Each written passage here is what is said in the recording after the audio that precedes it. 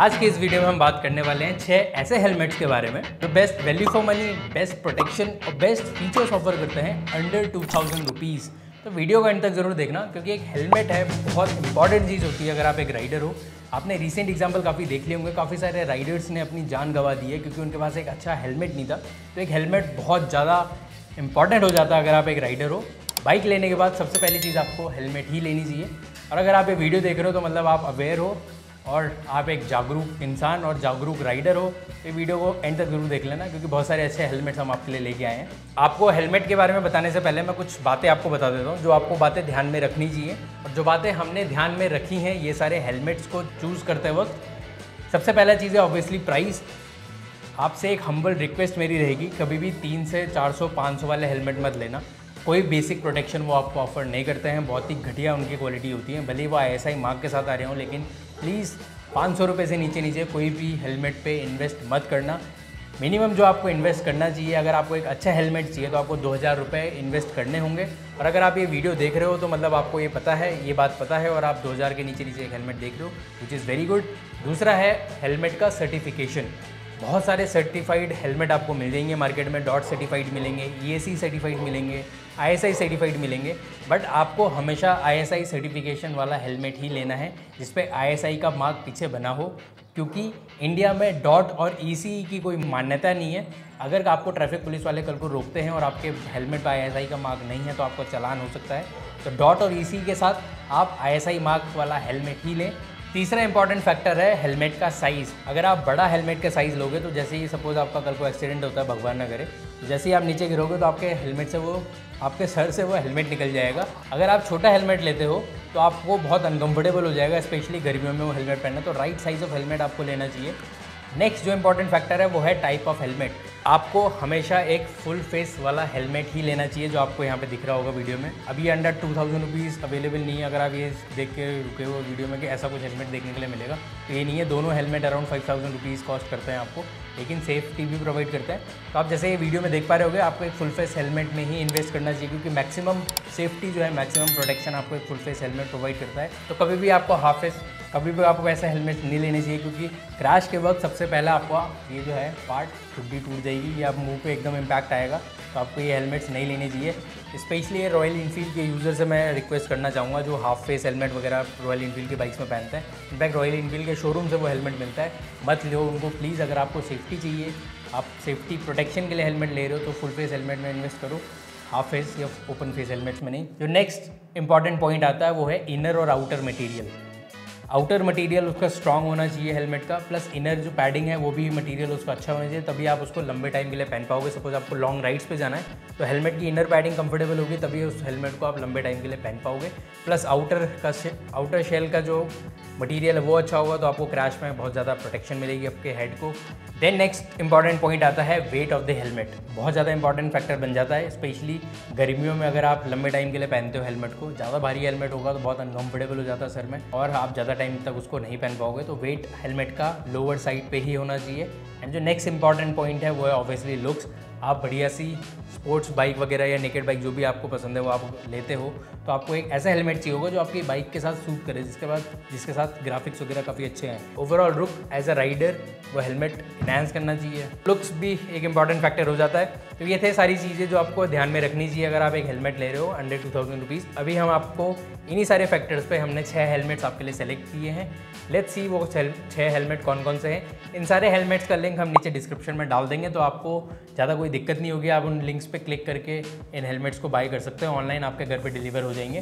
तो चलिए शुरू करते हैं। तो सिक्स नंबर पे जो हमने हेलमेट रखा है, वो है स्टर्ट्स का थंडर डी वन हेलमेट इसमें आपको मतलब ग्राफिकल डिज़ाइन देखने के लिए मिलता है। बहुत सारे फीचर्स हैं इन सारे हेलमेट्स के तो मेरे को याद नहीं है। टू बी वेरी फ्रैंक तो मैं अपने लैपटॉप लैपटॉप लैपटॉप मुँह से सुपारी निकाल के बात कर रहे बाबा इसके मुँह में पैदाशी सुपारी है। ये तो इस हेलमेट में आपको गुड लुकिंग डिज़ाइन मिलता है। काफ़ी अच्छे ग्राफिकल ऑप्शन आपको देखने के लिए मिलता है। बिल्ड क्वालिटी काफ़ी अच्छी है क्योंकि स्टर्ट्स का हेलमेट है तो ओवरऑल इसकी बिल्ड क्वालिटी अच्छी है। जो फ्रंट व्यू आपको ऑफ़र करता है, काफ़ी वाइड ऑफ़र करता है मतलब अच्छा खासा रोड रोड की विजिबिलिटी रहेगी आपको। प्लस रिमूवेबल और वॉशेबल इनर पैडिंग्स के साथ आता है। तो आप, जैसे आपकी इनर पैडिंग सपोज़ काफ़ी टाइम तक आपने इस हेलमेट को पहन लिया, अगर वो गंदी हो जाती है तो आपको रिमूव करके धो के, सुखा के दोबारा से लगा सकते हो तो बहुत अच्छा फीचर है। इनफैक्ट हर हेलमेट में ये फीचर होना चाहिए। कल को अगर आपकी सपोज़ पैडिंग खराब भी हो जाती है तो आप उनको चेंज भी करा सकते हो, नई पैडिंग खरीद के नया भी लगा सकते हो। तो रिमूवेबल पैडिंग के साथ आता है। वेंटिलेशन जो है वो काफ़ी अच्छा है इस हेलमेट में।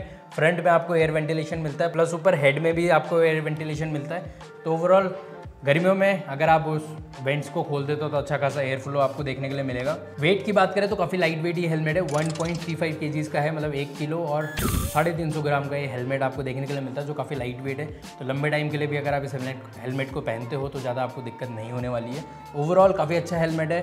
One of the best helmets है under two thousand rupees sober looking colour के साथ आता है, ना ज़्यादा फंकी कलर्स है, ना ज़्यादा डल कलर्स है। सोबर लुकिंग कलर्स के साथ आता है। अगर आपको स्टर्ट्स का ही हेलमेट लेना तो आप इसको कंसिडर कर सकते हो। अभी आ जाते हैं नेक्स्ट हेलमेट पे जो है स्टील बर्ड का air S B A one free live. Studds के हेलमेट जैसे इसमें आपको ग्राफिक्स देखने के लिए मिलते हैं काफ़ी सारे।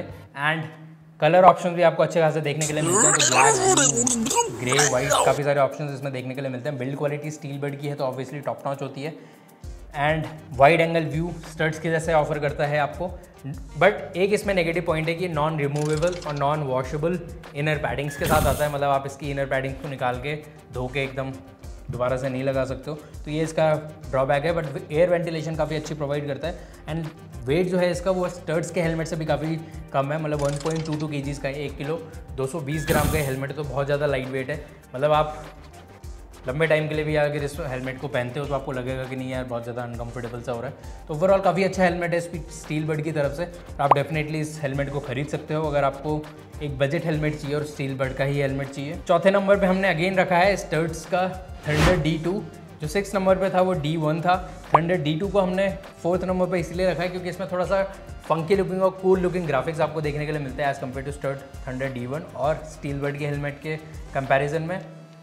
बिल्ड क्वालिटी अगेन इसकी अच्छी है वाइड एंगल व्यू आपको प्रोवाइड करता है। पॉजिटिव पॉइंट इसका ये है कि जो इनर पैडिंग्स है वो रिमूवेबल हैं एंड वॉशेबल हैं तो आप उनको धो के, सुखा के दोबारा से हेलमेट में फिट कर सकते हो, ज़्यादा कोई इशू नहीं होने वाला है। वेंटिलेशन ऑब्वियसली अच्छा है इस हेलमेट का। एंड लाइट वेट है स्टर्ट्स का डी जैसे ही इसका एक किलो एक किलो साढ़े तीन सौ ग्राम का वेट है one point three five K G तो लाइट वेट हेलमेट है। डेफिनेटली आप इस भाई, इस हेलमेट को कंसिडर कर सकते हो। नेक्स्ट जो हेलमेट हमने रखा है, वो है वेगा की तरफ़ से। वेगा भी एक काफ़ी जानी मानी कंपनी है और थर्ड नंबर पर इसका हेलमेट जो हमने रखा है, वो है वेगा स्टॉर्म एटॉमिक काफ़ी कूल लुकिंग ग्राफिक्स के साथ ये हेलमेट आता है। जो फ्रंट व्यू है, वो काफ़ी अच्छा ऑफ़र करता है। रोड की विजिबिलिटी काफ़ी अच्छी ऑफ़र करता है ये हेलमेट बिल्ड क्वालिटी वेगा का है तो ऑब्वियसली टॉप नॉच आपको देखने के लिए मिलती है। एयर वेंटिलेशन भी काफ़ी ज़्यादा अच्छा है इस हेलमेट का, बाकी हेलमेट से। Removable and washable inner paddings के साथ भी आता है तो आप डेफिनेटली इस हेलमेट को कंसिडर कर सकते हो। जैसे ही आपकी पैडिंग्स गंदी होती है, धो के, दोबारा से सुखा के इसमें लगा सकते हो। वेट की बात करें तो वो थोड़ा सा हाई साइड पे है इस हेलमेट का। बाकी हेलमेट से जो भी हमने बात करी है 1.58 पॉइंट का वेट है मतलब एक किलो 580 ग्राम का इसमें वेट देखने के लिए मिलता है। थोड़ा सा हायर साइड पे है as compare to other helmet और ओवरऑल काफ़ी अच्छा पैकेज ऑफ़र करता है वेगा का टॉर अटोमिक एंड आप डेफिनेटली इस हेलमेट को कंसिडर कर सकते हो। सेकंड नंबर पे जो हमने हेलमेट रखा है, वो है अगेन स्टील बर्ड का Steelbird S P H seventeen Terminator helmet ये थोड़ा सा यूनिक लुक में आता है एंड ओवरऑल काफ़ी यूनिक लगता है बाकी हेलमेट से। बहुत सारे कलर ऑप्शंस आपको इसमें देखने के लिए मिल जाएँगे मतलब जैसे आपको कलर ऑप्शन चाहिए, आपकी बाइक से मैचिंग वैसे आपको इसमें ऑप्शन मिल जाएँगे। मतलब भर भर के कलर ऑप्शन बनते हैं। इनफैक्ट नियॉन ग्रीन भी आपको इसमें देखने के लिए मिलता है, जो आजकल काफ़ी लोगों का फेवरेट होता जा रहा है। वाइड एंगल व्यू प्रोवाइड करता है। बेल्ट क्वालिटी काफ़ी अच्छी है इस हेलमेट की। Removable and washable inner padding के साथ आता है तो खोल खाल के बढ़िया से धुदा के आप दोबारा से लगा सकते हो।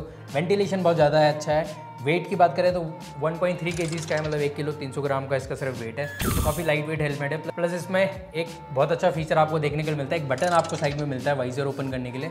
अगर आपको वाइजर ओपन करना है तो आपको सिर्फ़ उस बटन को प्रेस करना है और आपका वाइजर एक बार में पूरा ओपन हो जाएगा।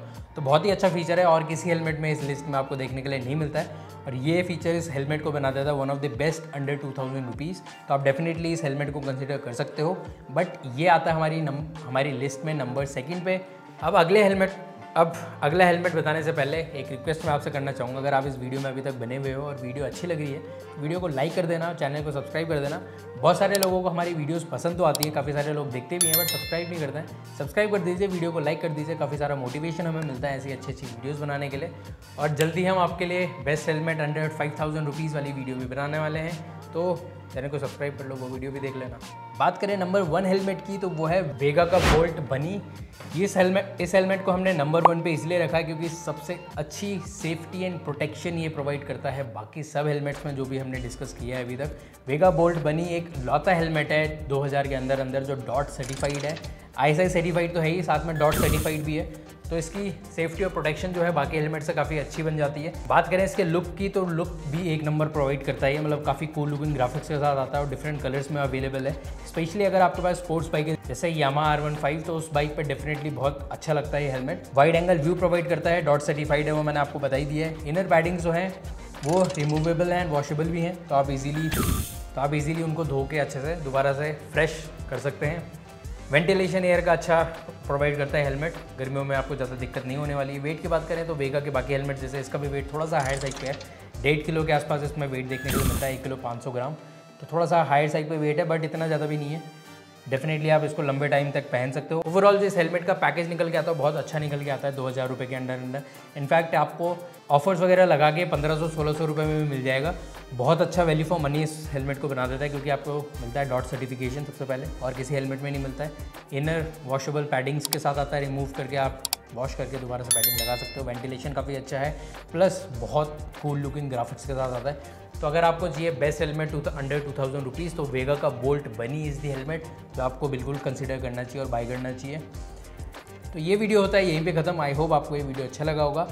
हेलमेट में डेफिनेटली आपको इन्वेस्ट करना चाहिए। अगर आपका बजट अलाउ करता है तो आप डेफिनेटली फाइव थाउज़ेंड तक भी हेलमेट कंसिडर कर सकते हो। ऐसे आपको हेलमेट देखने के लिए मिल जाएँगे अंडर फाइव थाउज़ेंड रुपीज़ जो I S I dot E सी तीनों सर्टिफाइड होते हैं तो मैक्सिमम प्रोटेक्शन आपको मतलब ऑफ़र करते हैं। टू थाउज़ेंड रुपीज़ तो एटलीस्ट आपको इन्वेस्ट करना ही चाहिए और इनमें से कोई सा भी हेलमेट आप लोगे, अगर आपकी सिटी राइड है मेनली सिटी में आप राइड करते हो तो अंडर टू थाउज़ेंड रुपीज़ आपके लिए हेलमेट वैसे मोर देन इनफ है। इजीली आपको प्रोटेक्ट करेगा। बट अगर आपका बजट अलाउ करता है तो आप थोड़ा सा बढ़ा, अपने बजट को बढ़ा सकते हो और और अच्छा हेलमेट्स को खरीद सकते हो। तो ये वीडियो होता है यहीं पे खत्म। आई होप आपको ये वीडियो अच्छा लगा होगा। वीडियो अच्छा लगा तो वीडियो को लाइक कर देना। चैनल को सब्सक्राइब कर देना। अब आपको मिलेंगे अगली वीडियो में, तब तक के लिए टाटा बाय बाय